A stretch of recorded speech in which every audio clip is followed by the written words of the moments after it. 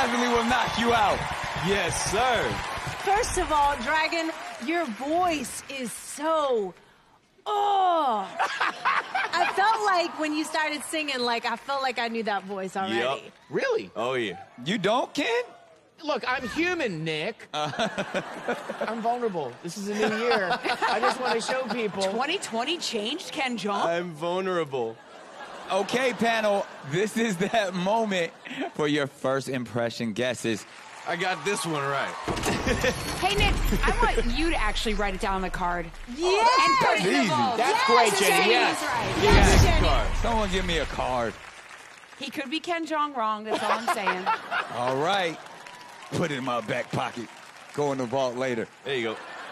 All right, tell us, what has it been like becoming the dragon? It's been an incredible experience. I mean, this whole outfit looking like I am really one of the most powerful and dominant characters in existence. There it is. Now, Jenny, were you picking up on any clues?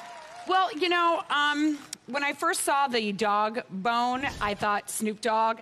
And then I realized there'd be so much more smoke around you if it was Snoop Dogg. um, but your voice has that kind of low, kind of raspy rap, and it reminded me of DMX.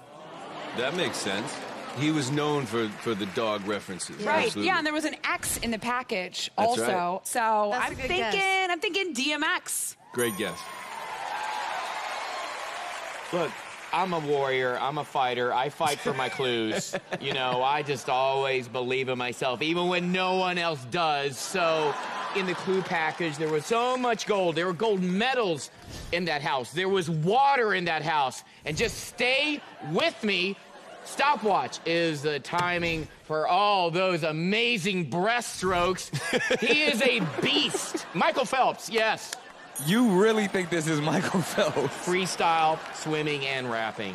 That makes sense. Yeah, I'm not sure about that.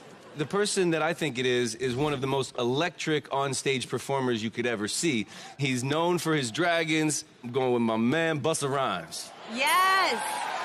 Robin, I'm so glad you said that. Yeah. You know why? He's also said Dangerous in the package. He got a song called Dangerous. Yep. That's right. So I'm going to go with Busta.